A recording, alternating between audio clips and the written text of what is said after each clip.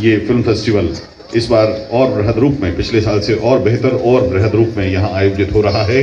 मध्य प्रदेश शासन का संस्कृति विभाग।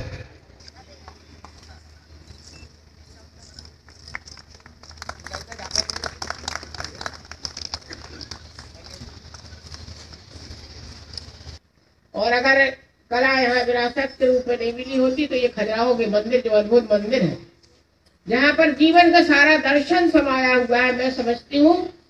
मैं समझती हूँ कि पैदा होने से लेके वैराग्य तक की कहानी, राग रंग की कहानी, काम केल की कहानियाँ जो खजुराहो के मंदिर में बिखरी पड़ी है वो शायद संसार में कहीं दूसरी जगह नहीं मिली होगी।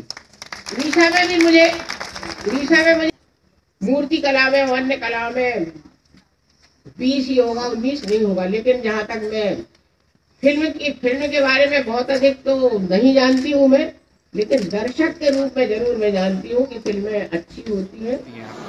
Um, मुझे लग रहा है कि ये तो uh, इस बार थोड़ा और उसमें जद्दोजहद सिर्फ़ एक्साइटमेंट होनी चाहिए और लोगों को और आना चाहिए ऐसी तो उम्मीद है ही और फ़िल्में बहुत इस बार पिछली बार के बनस्पत इस बार फ़िल्में बहुत ज़्यादा है और काफ़ी वैरायटी है उनमें।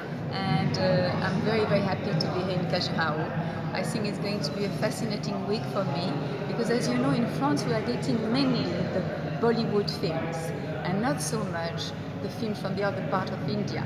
So here I know this festival is really uh, focusing on you know what is India. So it's very thrilling and I'm very happy to be here.